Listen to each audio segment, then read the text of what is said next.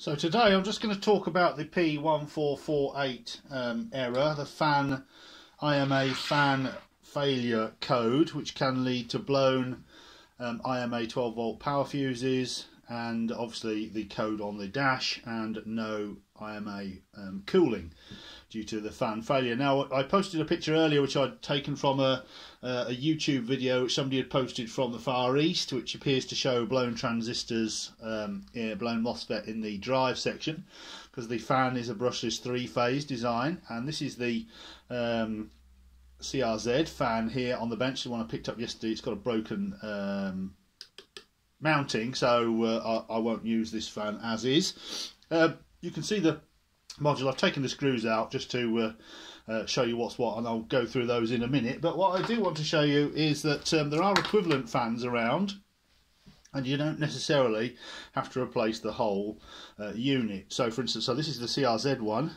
Let's move that out of the way. And uh, this is the HCH2 or HCH1 fan. I can't remember which one it is. Um, but you can see that this part of the module, the, the actually outlet design and the mountings are different, but this part and the actual fan impeller itself uh, is identical to the CRZ one. So for instance, if I take the, this is the CRZ one back again, so if I take the CRZ module out, you can see we have the, I'll move that out of the way, we have the uh, CRZ fan assembly. This is the bit that does all the work obviously. So if I take the one out of the HCH2 and then we have them next to each other you can see they're, the same. So I'll put the HCH2 one into the CRZ case and you can see that the module fits into there. It also has the same uh, connector. So I don't see any reason uh, why you can't use an HCH2 or possibly the HCH1 I can't remember which one this is from. Um, you know if it's got the same design back area like this and it looks identical to the CRZ one there's I don't see any reason why that isn't completely interchangeable. They certainly look the same internally because I'll show you the circuit boards in a minute. So that's certainly another option. You don't have to limit yourself to a CRZ fan. You can just uh, get an HCH2 one and take the innards out and transfer it to the uh, CRZ so let's go back to the CRZ one. Uh, whichever one it is. Let's have a look yeah, so I'll just put the CRZ one back in its uh, mounting. So there's the CRZ one back in. So obviously you can take the whole module out or we can take the back off. So if we take the back off, we get uh, this. So as I said, this is a three-phase uh, module, and there are three basically connections to the fan here. Now these are made by spot welding, uh, so these are incredibly difficult to get difficult to get apart. You can't unsolder them. They can certainly be soldered back together once you've repaired the board or whatever if you need to. Um, but getting them apart was pretty tricky. What I did was I just prized them gently, and then I got my really strong snips in between the two and cut through the spot weld basically and that just freed up the tabs as you can uh, you can see there. So once you've done that then the heatsink at the back here back side here that's glued to the plastic. But if you get a screwdriver down the side there you can just lever that gently away and there's one screw in the corner here. And then basically this whole unit comes out. So there we can see the motor um, uh, now I've actually measured the resistance between these and it's 80 milliohms between any of these three phases and that's obviously for a good motor. Um, it's really low resistance is that so it's going to be quite difficult to read without a reasonably qual good quality meter. But you know if the motor's blown then obviously that can be replaced. Uh, they just need one with obviously without blown windings or whatever. So we'll find out what the problem is. So going back to the board so we can see the board.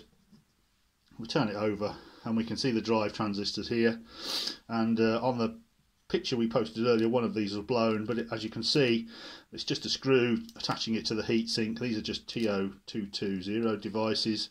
Uh, we've already posted a link about where you can possibly get these or they could be replaced with a higher spec ones so it would just be a case of unsoldering the failed device from the board. And uh, uh, going from there we'd have to hope that uh, it looks like he's got some resistors in the gates um, drives here, these resistors on this side, um, so they may well protect the drive circuit hopefully, and it looks like there might be transistors as well involved in that. Um, there's obviously speed sensors going on as well, so it might be that it may be just the blown uh, transistor, or obviously might be the blown motor. But obviously, if you've got a blown transistor, you can measure the resistance of the motor. If the motor looks okay, uh, the resistance is correct, then you can just replace the power transistor, and you probably will be good to go. And put it back together. Uh, it's pretty straightforward. It just all goes straight back in just going to make sure you get those pins on the right side So that's it. So it's not exactly difficult. And then you can just uh, pin that, clip those together, and just solder those back together.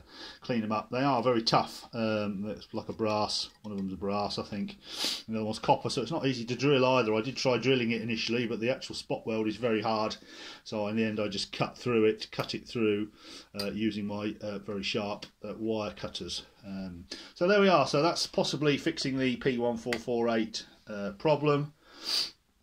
As you see, we basically get um, a new fan or a replacement fan and or replace the uh, circuit board or repair the circuit board. I mean, if you didn't want to repair the circuit board, you could just swap the whole circuit board over from one to the other. Uh, certainly, the HCH2 fan circuit board would just fit straight into there, or you just take the whole module out, like you saw earlier, and just replace the whole module. So that's where we are.